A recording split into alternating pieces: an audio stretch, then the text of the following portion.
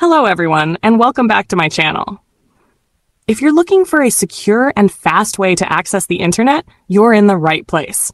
Today, I'm going to guide you step by step on how to create a Shadowsocks configuration and use it with HTTP Injector VPN. Whether you're new to VPNs or just exploring Shadowsocks, this tutorial will walk you through everything in a simple and clear way. Let's get started. First things first. Let's install the HTTP Injector app on your device. Open the Google Play Store. In the search bar, type HTTP Injector. Tap on the app in the search results and hit Install. It should only take a few minutes to download and set up. Once installed, go ahead and launch the app. You'll land on the home screen of HTTP Injector. Before we proceed with configuration, let's create our Shadowsocks server. To create your server, Open any browser on your phone or device. In the search bar, type UDP Custom and hit search. From the search results, open the official UDP Custom website.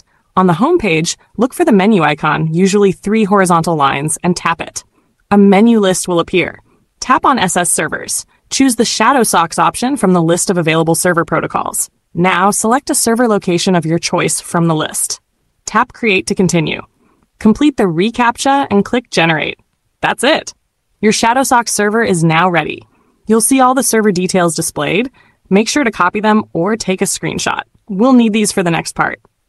Now that we have our server, let's plug it into HTTP Injector. Back in the HTTP Injector app, tap the arrow button below the Start button. This opens the tunnel type options. Select Shadowsocks as your tunnel type. Under the Connect form, leave it as default or remain same. Tap Save to store this configuration. Now, to add your Shadowsocks server, tap the settings icon at the top right corner. In the menu, tap on Shadowsocks. On this interface, tap the small plus button at the top. A pop-up window will appear. Paste your Shadowsocks server details into the fields. Tap OK to save. Once imported successfully, go back to the home page. Now, simply tap the Start button to connect. Your secure, fast, and unlimited internet is ready to go. And that's it! You've just created your own Shadowsocks server and set it up with HTTP Injector. Enjoy private, encrypted, and unrestricted browsing. If you found this tutorial helpful, don't forget to like, subscribe, and share it with your friends. Thanks for watching, and I'll see you in the next video.